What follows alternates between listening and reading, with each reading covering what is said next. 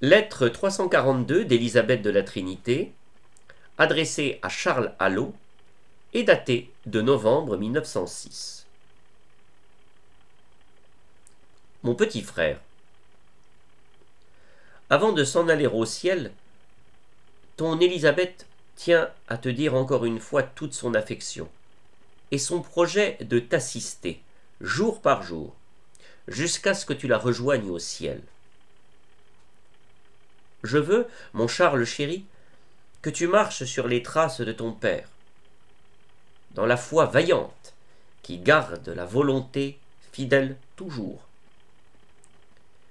Tu auras des luttes à soutenir, mon petit frère. Tu rencontreras des obstacles au chemin de la vie. Mais ne te décourage pas. Appelle-moi. Oui, appelle ta petite sœur. Tu augmenteras ainsi le bonheur de son ciel.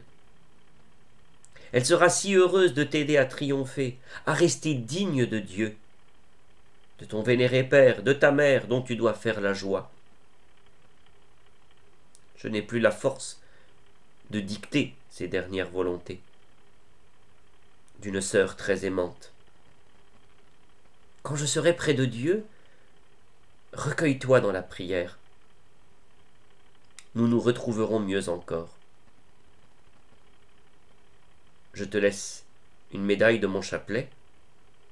Porte-la toujours en souvenir de ton Élisabeth, qui t'aimera plus encore dans le ciel.